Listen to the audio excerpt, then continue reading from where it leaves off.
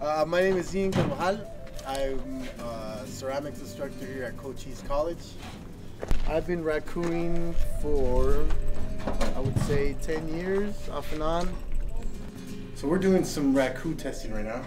Uh, we're gonna do a test on all the raku glazes we have, which are seven.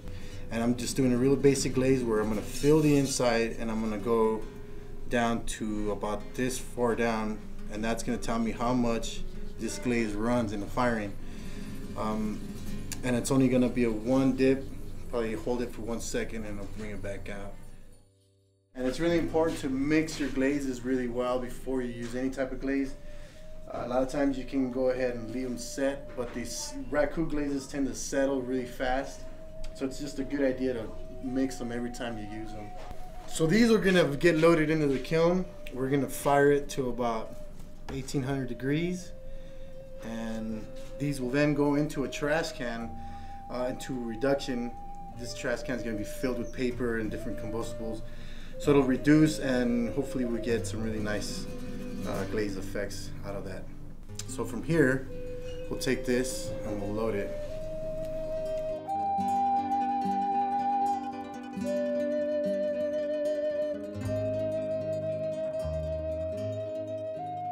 So after this, we'll just turn this, we'll take this down. Now that's shut.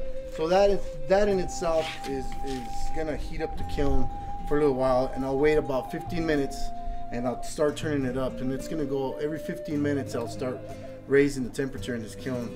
At about 45 minutes, it should have color.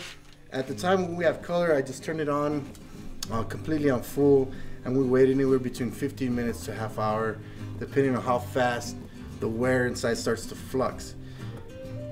Other than that, uh, once that happens, we'll shut it off.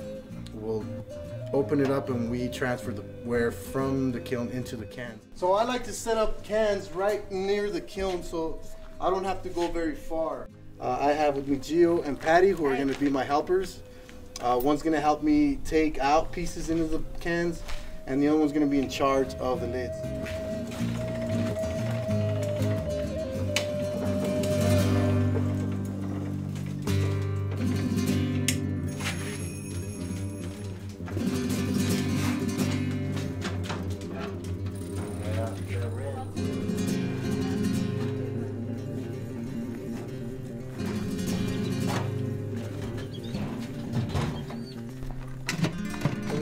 Smoke everybody out.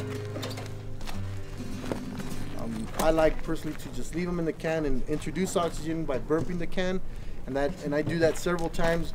That way I keep some of the heat at the same time, and at the same time, and, and also the oxidation is coming in.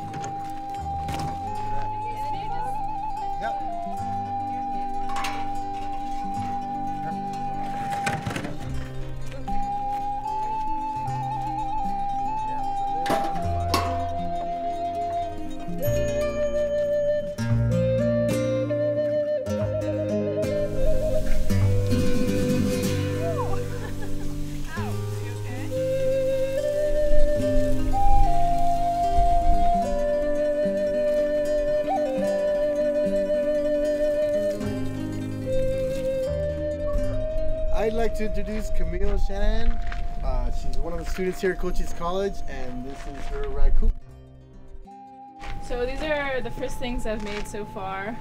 And I also believe that the word raku means delight.